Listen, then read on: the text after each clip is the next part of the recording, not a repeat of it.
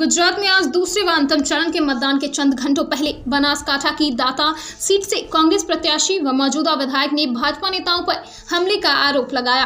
आरक्षित दाता सीट से विधायक कांति खरारी ने कहा कि उन पर भाजपा प्रत्याशी लाधू पारघी ने हमला किया। खराड़ी ने समाचार एजेंसी को बताया कि मैं अपने मतदाताओं के पास जा रहा था। तभी भाजपा उम्मीदवार लाधू पारघी के साथ लालकृष्ण बराड और उनके भाई वदन जी व अन्य ने हमला कर दिया। हमलावर अपने साथ तलवार व अन्य हथियारों से लैस थे। हरारी ने बताया, हम अपने समर्थकों के साथ वाहन से बामोदरा फोरवे से जा रहे थे। तभी भाजपा प्रत्याशी ने हमारा रास्ता रोक लिया। उसके बाद हमने लौटने का फैसला किया। इस बीच और लोग आए और हमला कर दिया। मैं अपने क्षेत्र में जा रहा था, क्योंकि वहाँ आज मतदान है। मैंने देखा कि वहाँ माहौल गर्म था, इसलिए मैंने वहाँ से लौटने का फैसला किया। जब लौट रहे थे, तब भी कुछ कारों ने हमारा पीछा किया। भाजपा उम्मीदवार पारघी और दो अन्य लोग हथियारों व तलवारों के साथ आए। हमने सोचा कि हमें बचना चाहिए। हम 10-15 किलोमीटर तक भागे।